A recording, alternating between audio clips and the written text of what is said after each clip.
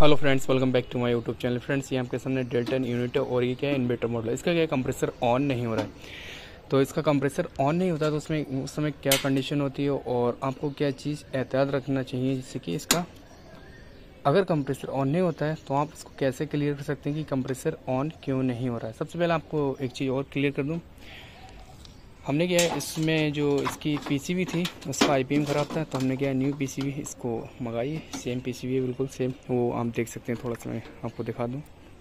Same PCB ठीक है? तो ये पीसीबी इसका जो आईपीएम ख़राब था। ये वाला जो आईपीएम होता है इसके अंदर, ये ख़राब था। तो ये आई पी एम जो इसकी यूनिट के यहाँ पे आई पी एम ख़राब था, इसी वजह से कंप्रेसर ऑन नहीं हो रहा है। अगर आपके सामने ये दिक्कतें आती हैं कंप्रेसर ऑर्डर यूनिट ऑन नहीं होता, या फिर दो चार मिनट चलता है तो वहाँ पे क्या दिक्कत होती है उसको? कैसे चेक कर सकते हैं? तो मैं उसके साथ उसके आपको क्लियर कर दूँगा कि आपको क्या क्या चेक करना है। तो उससे पहले क्या है, मैं पी पीसीबी जो है थोड़ा साइड लेता हूँ। अब बताता हूँ आपको, ठीक है? क्लियर तरीके से आपको सुनना है क्लियर तरीके से आपको समझना है, जिससे कि आपको अच्छे से समझ आ जाए और आपके सामने भी अगर ये दिक्कत आ रही है तो आप उसको भी ठीक कर सकते हैं। तो सबसे पहले जो दिक्कत होती है, पहले आपको देख लेना है कि आपके जो कम्युनिकेशन वायर हैं, वो एकदम प्रॉपर तरीके से होना चाहिए। मतलब इंडोर टू आउटडोर एकदम जो वायरिंग है, वो वैसे ही होना चाहिए, जैसे कि इंडोर पे वैसे ही आउटडोर पे होनी चाहिए। इसके पहले क्या है, यहाँ पे ये न्यूट्रल वायर होता है, ये अर्थिंग होता है, ठीक है? न्यूट्रल वायर जो होता है, वो आप देख रहे हैं एल लिखा है ए सी और यहाँ पे जो है, पीछे थोड़ा साइड करता हूँ एल एल जो लिखा है ए सी एल और ये जो एस वायर है, ये हमें जो वायर है, वो सिग्नल वायर है मतलब कम्युनिकेशन वायर है ए वाला। सी पी वायर भी बोलते हैं, जो कि इंडोर की पीसी भी तीन मिनट के बाद सप्लाई आउट करती है। तो यहाँ तक तो उम्मीद है क्लियर हो गया वो, ठीक है? तो उसके बाद जो चेक करना है, अगर आपका ऑल्टरनेट ऑन नहीं होता तो ज़ाहिर सी बात है, इसके कैस्टर वगैरह मतलब कैस्टर फट जाते हैं या फूल जाते हैं, तभी ये दिक्कत आती है। फिर आपके रिले वगैरह में दिक्कत आ जाती है तब ये दिक्कत आती है। फिर आईपीएम ख़राब हो जाता है तब भी ये दिक्कत आती है।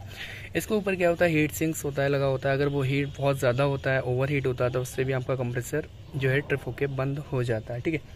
उसके बाद जो है, अगर कंप्रेसर आपका जो है ऑन नहीं होता है, या फिर ऑन होके या घूम के आवाज़ करके बंद हो जाता है तो उस समय क्या दिक्कत होती है?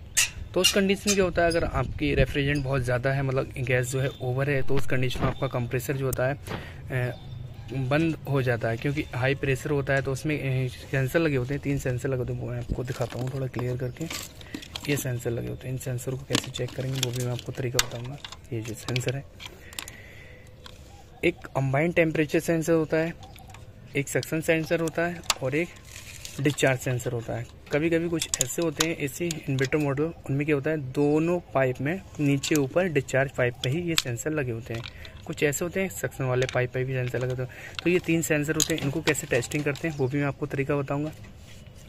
अगर आपका फ्यूज ख़राब होता है, फिर भी उस कंडीशन में आपका ऑर्डर यूनिट ऑन नहीं होगा।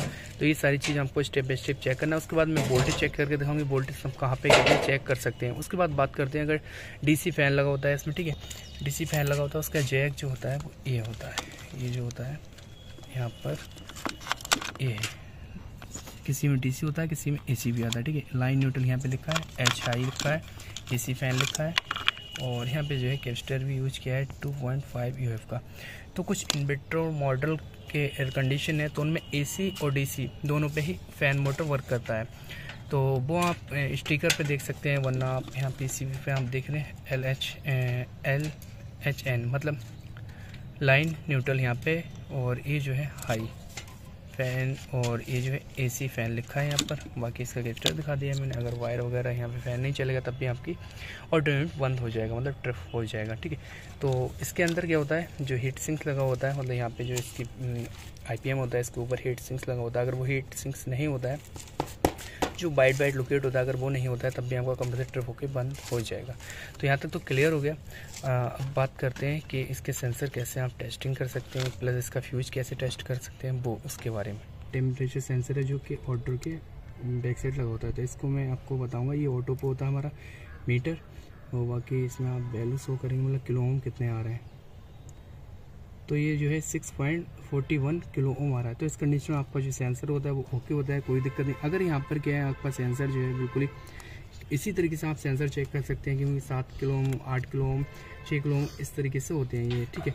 तो यहाँ पे जो सेंसर है सेंसर का, अगर आपका ख़राब होगा तो वहाँ पे क्या होगा? आपका सेंसर जो है किलो में बिल्कुल सो नहीं होंगे और अगर बहुत ज़्यादा सो रहे हैं, उस कंडीशन में आपका सेंसर अंदर से शॉर्ट होता है या फिर बिल्कुल सो नहीं हो रहा तो अब भी आपका शॉर्ट होता है। इस तरीके से आप इसको चेक कर सकते हैं। बाकी जो है कंप्रेसर अगर ऑन नहीं होता है तो और क्या रीज़न होता है? आपके वोल्टेज अप डाउन बहुत ज़्यादा होते हैं, ये वोल्टेज बहुत ज़्यादा कम आ रहे हैं। मान लो 80 वोल्टेज नब्बे वोल्टेज आ रहे हैं तो इस कंडीशन में आपका कंप्रेसर ऑन नहीं होगा। वो भी मैं आपको चेक करके दिखाऊँ बट उससे पहले ये जो पीसी है पीसी को इंस्टॉल करके दिखाता हूँ। तो यहाँ पर जो है इसका कंप्रेसर है। मैंने क्या पी सी इसमें इंस्टॉल कर दी मतलब इसकी जो जैक वगैरह है, सारे कनेक्ट कर दिए बाकी इसके सेंसर वगैरह है। एक सेंसर जो हमारा यहाँ आ गया, इस वाले पाइप पे। जो डिस्चार्ज वाला पाइप है, इस पर आ गया। ये वाला सेंसर ठीक है? और ये जो है अम्बाइन टेम्परेचर सेंसर कंडेंसर के बाहर है। और ये जो है हमारा कंडेंसर आ गया मतलब नीचे जो है, मैं दिखाता हूँ यहाँ पे। ये यहाँ पे आ गया, नीचे लगाया, आप देख रहे हैं। इस साइड लगा ये सेंसर यहाँ गया। तो इस तरीके तो यहाँ पे जो है इंडोर पे सेम वायरिंग है, मेरी आउटडोर पे देनी है। तो हमें ये न्यूट्रल है आपका मतलब ये वाला जो वायर है, जैसे कि मैंने आपको पीसी में दिखाया था सेम बेसिक करना है, उससे पहले भी मैंने आपको बताया। तो ये वाला जो वायर है हमारा लाइन है। और ये वाला जो वायर है, वो न्यूट्रल है। ये वाला जो वायर है हमारा कम्युनिकेशन है। Same indoor to outdoor same connection करना है एकदम लूजिंग नहीं रहना चाहिए, अच्छे से टाइट हो जाना चाहिए सिंपल में लग जाना चाहिए, किसी की दिक्कत ना आए। बाकी यहाँ पे मैं आपको वोल्टेज चेक करके कहूँगा प्लस आपको ये दिखाऊँगा कि अगर इंडोर टू आउटडोर पीसी भी ऑन नहीं होती तो आप उसको कैसे क्लियर कर सकते हैं?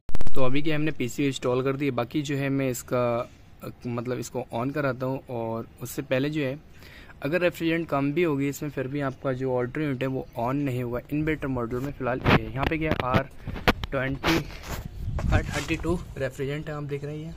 आर थर्टी टू रेफ्रिजरेंट है, वो यहाँ पे लिखी होती है, स्टिकर पे एक लिखी होती है और कंप्रेसर पे लिखी होती है। तो यहाँ से क्या है, जब यहाँ पे सप्लाई आ जाएगी, उसके बाद ये ऑन होता है, फिर मैं आपको दिखाता हूँ कि ये ऑन होता है या फिर नहीं, ठीक है? और बाकी सारे एयर कोड मैं आपको दिखा दूँ यहाँ पे, जिससे कि आप अच्छे से इसे कैप्चर भी कर सकते हैं। मैं थोड़ा सा होल्ड करके रखता हूँ। इससे क्या है कैरियर के जितने भी एयर कोड है, वो आपको अच्छे समझ आ जाएँगे तो आप इसको ज़रूर देख लें और इसको सेव भी कर लें। कैप्चर कर लें एक पिक और सेफली अपने पास रख लें। यहाँ पे क्या इस तरीके से वोल्टेज चेक कर सकते हैं। लाइन न्यूट्रल आप देख रहे हैं यहाँ पे। यहाँ पे क्या लाइन न्यूट्रल 220 से 230 एसी वोल्ट आना चाहिए। तो यहाँ तक ठीक है। उसके बाद जो है, अगर इंडोर की या आउटडोर की पीसी ख़राब हो गई, आपको बताऊँगा कंप्रेसर इसका ऑन हो चुका है, ठीक है? यहाँ तक इस तरीके से आपको वोल्टेज चेक करना है, ठीक है लाइन न्यूट्रल अभी क्या है कंप्रेसर ऑन हो गया, इसकी रिटर्न एकदम अच्छे से आ रही है। मतलब रिटर्न जो है, अच्छे से आ रही है, कोई दिक्कत नहीं है। यहाँ पे कूलिंग कर रहा है ये। और इसका जो कंप्रेसर है वो ऑन हो गया है फ़ैन मोटर भी ऑन हो गया आप देख रहे हैं, हमने न्यू पीसी भी इंस्टॉल की थी, उसके बाद इसकी जो रिटर्न है रिटर्न भी आ रही है प्रॉपर कोई दिक्कत नहीं है। फ़ैन भी एकदम अच्छे से चल रहा है हीटिंग आउट कर रहा है। और बाकी अगर आपकी इंडोर की पीसी भी ख़राब है फिर आउटडोर की पीसी फिर ख़राब है तो आप कैसे क्लियर कर सकते हैं? वो मैं आपको उसका तरीका बता रहा हूँ। सबसे पहले क्या करना है, आपको जो मीटर लेना है मीटर को डीसी बोर्ड पर सेलेक्ट करना है। मेरा ऑलरेडी मतलब ऑटो पे है मीटर मीटर थोड़ा सेट कर दूँ इसलिए आपको अच्छे से नज़र आ जाए। कहाँ किया जाए? जो है।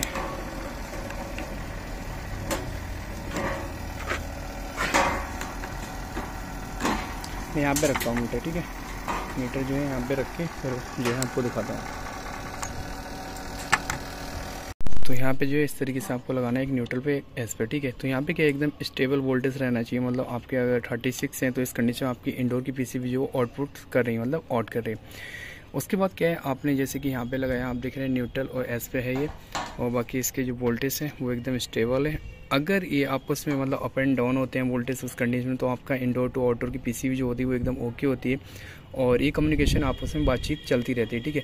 अगर स्टेबल वोल्टेज है, वहाँ पर रुके हैं, मान लो थर्टी सिक्स यहाँ पर वोल्टेज रुके हैं तो इस कंडीशन में आपकी इंडोर की पीसीबी ओके अब बात करते हैं अगर यहाँ पर बिल्कुल वोल्टेज नहीं आते फॉर फॉर एग्ज़ाम्पल आपने लाइन न्यूट्रल पे यहाँ पे कम्युनिकेशन मतलब पे और न्यूट्रल पे किया, उसके बाद जो है यहाँ पे आपके और वोल्टेज जो है बिल्कुल सो नहीं हो रहे हैं। बिल्कुल वोल्टेज सो नहीं हो रहे हैं। तो उस कंडीशन में अगर यहाँ पे ज़ीरो आता है तो इस कंडीशन में क्या होता है, आपकी पीसी जो है इंडोर की पीसी सप्लाई ऑट नहीं कर रही। है अगर आपके स्टेबल वोल्टेज नहीं रुकते हैं, अपने न्यूट्रल से, और कम्युनिकेशन में आपने वायर रखी है, फिर भी वहाँ पे यहाँ पे मीटर में अगर वोल्टेज शो नहीं हो रहे हैं तो आपकी इंडोर की पीसी भी ख़राब है। अगर वोल्टेज स्टेबल है, एकदम रुके हैं यहाँ पर, और आपने न्यूट्रल और कम्युनिकेशन पे अपने जो है नोप रखी है, वहाँ पे वोल्टेज रखे हैं, जैसे कि फॉर एग्ज़ाम्पल न्यूट्रल पे और कम्युनिकेशन एस वाला जो वायर है, वहाँ पे आपने रखे तो यहाँ पे स्टेबल वोल्टेज आना चाहिए। जैसे थर्टी सिक्स आ रहे हैं तो यहाँ पे इस तरीके से वोल्टेज आना चाहिए।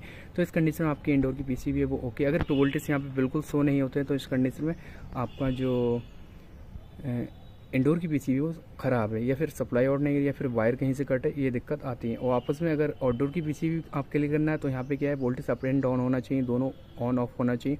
तो इस कंडीशन में आपका दोनों पीसीबी ओके हैं, कोई दिक्कत नहीं है। अब मैं लाइन न्यूट्रल मतलब मैं आपको चेक करके दिखाता हूँ लाइन न्यूट्रल। यहाँ पे क्या है, दो सौ बीस से दो सौ तीस ए वोल्ट आना चाहिए लाइन न्यूट्रल पर क्या वहाँ पर रखेंगे।